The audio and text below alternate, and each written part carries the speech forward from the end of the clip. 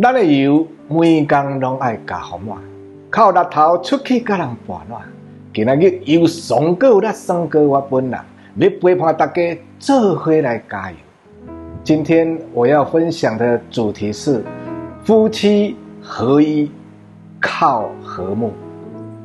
我所领受的经文是哥林多前书第七章第四节，我们一起来攻读。妻子没有权柄主张自己的身子，乃在丈夫；丈夫也没有权柄主张自己的身子，乃在妻子。当我读到第一句“妻子没有权柄主张自己的身子，乃在丈夫”，我感觉真有道理哈。因神曾经说过。丈夫是妻子的头，妻子要顺服丈夫，听起来就感觉蛮舒服的。但读到下一句，丈夫也没有权柄主张自己的身子，乃在妻子。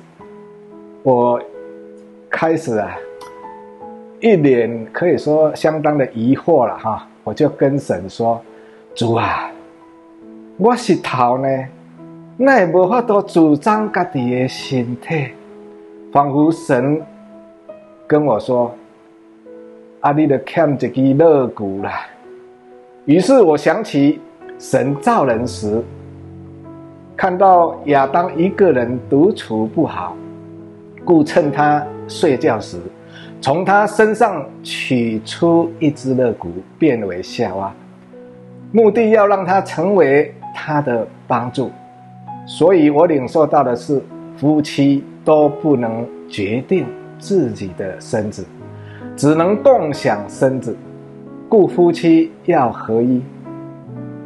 要合一，就要先和睦；要和睦，就要有连结；要有连结，就需常关注另一半的感觉。我举个例。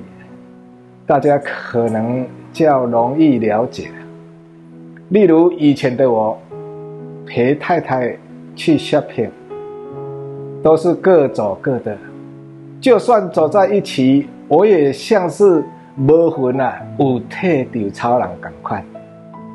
而最近灵修啊，默想到这节经文后，我知道我太太爱的语言是服务。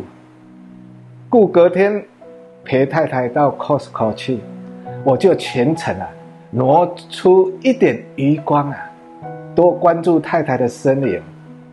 其实这就是连结，注意她的感觉、需求，而适时的主动出手帮她拿东西。我感觉到彼此的感觉是美好的。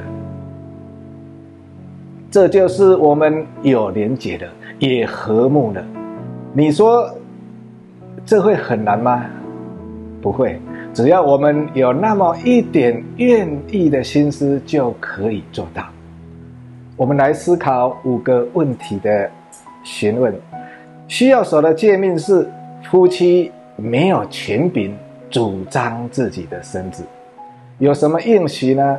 夫妻合一，走在蒙神祝福的美好计划中，成为彼此的助力，可以避免的罪是我行我素，也就是大猪大爷意思哈。生活中的应用，时时关注另一半的感觉，与太太要有连结，也要常参加夫妻恩爱营。把渐渐疏远的感觉啊调整回来，对上帝有新的认识是，上帝造人真是奥秘。我们一起来低头祷告，